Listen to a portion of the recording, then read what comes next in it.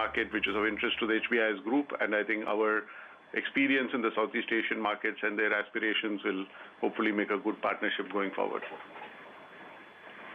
I now open the uh, uh, call for questions. Thank you very much, sir. Ladies and gentlemen, we will now begin the question and answer session. Anyone who wishes to ask a question may please press star, then one on their touchtone telephone. If you wish to remove yourself from the question queue, you may press star, then two. Participants are requested to use handsets while asking a question. Ladies and gentlemen, we will wait for a moment while the question queue assembles. To ask a question, please press star, then one.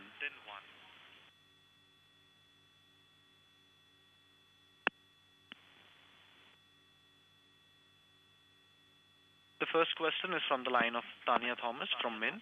Please go ahead. Uh, hi, Mr. Narendran. Uh, uh, I just wanted to ask you quickly if, you know, what is the reason for retaining the equity interest? And, you know, Yeah, I What do you hope to gain from the partnership? Yeah, thanks, Tanya. Basically, HBIS was keen to build a partnership with Tata Steel, and Tata Steel also felt that we can optimize the value by, Uh, uh, you know, divesting 70% now and holding on to the balance 30%, uh, so that we can take the benefit of any upside, if any, over the next few years. Okay. But is there any sort of technology transfer that's happening? You know, is this like a long-term partnership that that will also expand from just Southeast Asia into other- Yeah. So HBIS Group actually has a fair amount of uh, interest outside of China. They are also a owner of Duferco, which is a large trading company. Uh, they have a commercial relationship with us as well.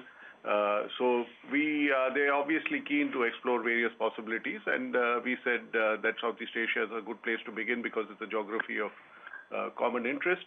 And HBIS has ambitions for Southeast Asia. They've also signed an agreement with another uh, company in Philippines to set up a steel plant in Philippines as well. So they have uh, significant ambitions for Southeast Asia and wanted to leverage our footprint, which exists there. From our point of view, uh, these are assets which we've nurtured over the last 10 years, and if there's somebody else who wants to invest to grow it, we are happy to support them with our experience and our knowledge and our equity in the region, and help them, you know, establish a footprint. Okay, that is Tata Steel. After they've divested their stake in their Southeast uh, Asian business to HBIS Group, they will still continue to retain 30% stake um, in their wholly owned subsidiary, which is in Beijing, um, in order to monetize if there is any upside which happens. Uh, Godrej property numbers on your screen, revenue growth 23%, but there is an EBITDA loss of nearly 39 crore. There is a profit of about 41 crore. So there is some item below uh, the operating profit line, which is boosting up the bottom line. We'll try and get more color on this. Yes, there is another other income, which is at 90 crore, which explains why, despite an operating loss of about 38-39 crore, the company has managed to report a profit of 40 crore. Um, the stock is down close to about 1 odd percent. Uh, %. More color on Godrej Properties will um, come up for you. Just keep your eye on the flashes line. Let's move on. Shriram City Union is the stock which is on our radar. The company reported a substantial decline in the operating profit growth that was mainly led by low disbursements and low AUM growth.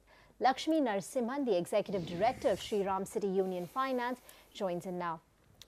Um, good afternoon, sir. Your disbursements at a 23-year low, they've come down by 28% year-on-year. The AUM growth is now in single digits. Um, what went wrong in the quarter, and what visibility do you have of an improvement in Q4? Yeah, thank you very much. Uh, as far as the disbursement for the quarter was concerned, as we had guided at the beginning of the third quarter, there was definitely a liquidity squeeze, and the money that was coming through came through somewhere during December, end November, beginning December, and it was coming at a higher price. So the choice was whether to borrow at that price or to kind of let go of disbursements for the quarter. So, so we kind of chose the latter. But what would be critical is we kind of put through people into collections, and if you look at our credit costs, they have come down dramatically. Mm-hmm. Just to add, the PAT for nine months is far higher than the PAT for the entire year of last year. So while the disbursements have come down, the loan book growth is about 9.6%-10%. uh, there is there is an improvement on the other operating parameters, including OpEx and credit costs. Okay, uh, Mr. Narasimhan, uh, you said that you know y'all uh, uh y'all either had the opportunity of going ahead and borrowing at a higher cost on, or uh, you know going ahead and trying to protect your margins. Still, your NIMS have come down to around 12.4 percent. What is the outlook on the NIMS, if you could tell us? And also, I'm going through a presentation. You're talking about growing your loan book uh, at around 18 to around 20 percent odd going ahead. How confident are you of getting these numbers?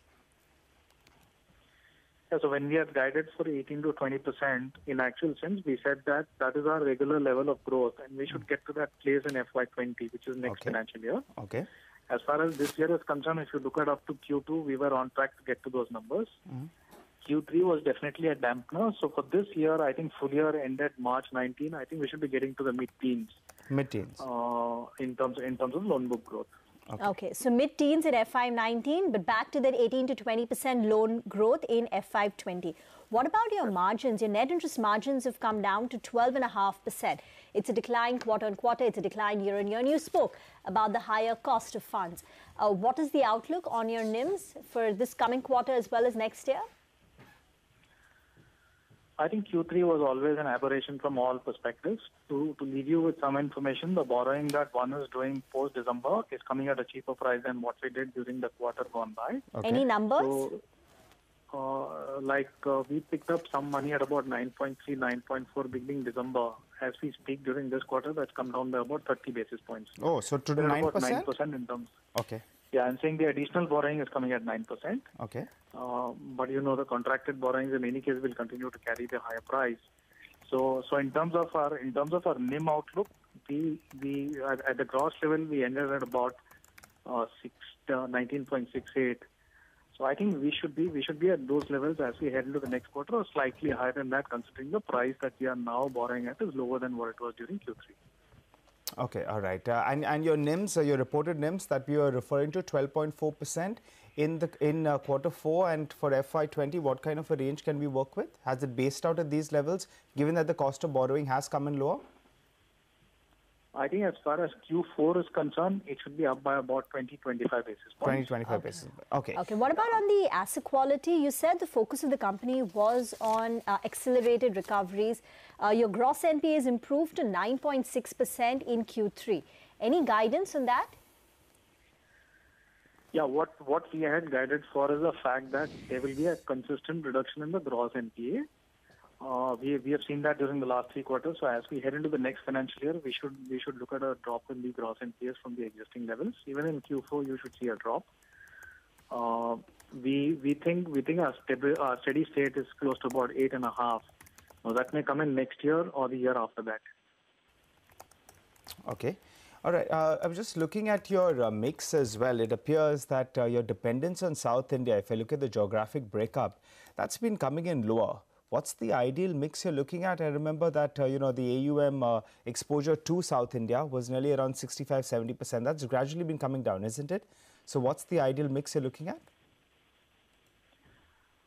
Uh, we're, we're not, uh, just leave you with this feedback, we're not chasing an ideal mix, but what we had definitely mentioned is the non-South markets were largely contributing on the two-wheeler business. In fact, the two-wheeler AUM for the non-South is higher than the South. Okay. And the small business loans, which is the SME, the South is higher than the non-South. We had said that over a period of time, the non-South contribution for the SME business as well will increase, which is what we are seeing now, as a function of which the overall contribution of the book non-South is increasing. We're not chasing an ideal mix, but I would expect over a period of next three, four years, uh, close to about 45 odd percent should come from non-South. But as I said, these are moving numbers uh, depending upon how the portfolio behaves, so on and so forth. Okay. Uh, if you could just break up your disbursement growth, what would be the two-wheeler loan growth that you expect, the gold loans that you expect, the business loans? Uh, just break up, uh, you know, add some more color on the kind of disbursement growth you expect in FY20 and what the environment is looking like.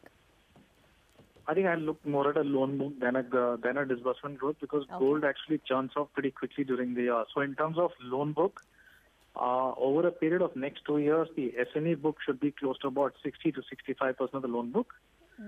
The personal loan should be about 10 odd percent, and uh, the two-wheeler book should be like 18, 19 percent. The balance coming in from gold and the auto loan book. Okay, thank you. Uh, Mr. Narasimhan for joining in. That's Shriram City Union Finance. Uh, they, you know, they admit that Q4 was a challenging quarter, but that which was a one-off impacted by the liquidity squeeze, which impacted the NBFCs. But things should improve in Q4 as well as FY20 when it comes to margins, loan growth, and even the asset quality. Well, Rima, you know, I just want to refer to the Tata Steel con call. You know, that stock should be in focus. This piece of news that's coming in there is quite positive, actually, if you look at the details that are coming out there in terms of the con call. Now, Nupur is listening into uh, the con call and she just sent me some details as well.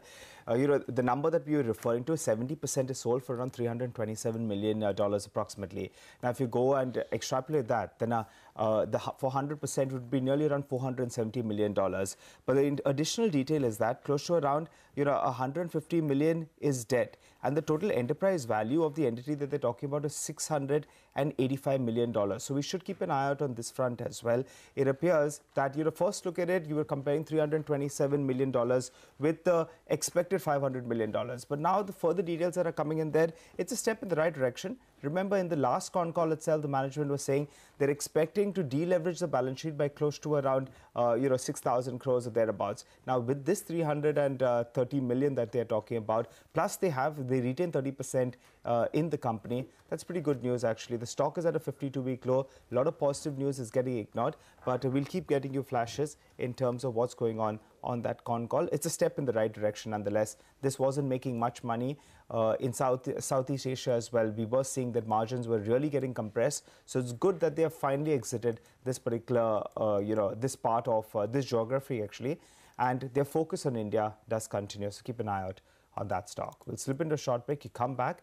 We'll have Ashwini Gujral and Prakash Gaba. They'll be with us.